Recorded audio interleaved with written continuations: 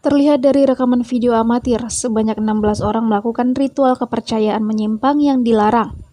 Berdasarkan informasi yang dihimpun, belasan orang itu diamankan ketika sedang melakukan ritual mandi bersama tanpa busana.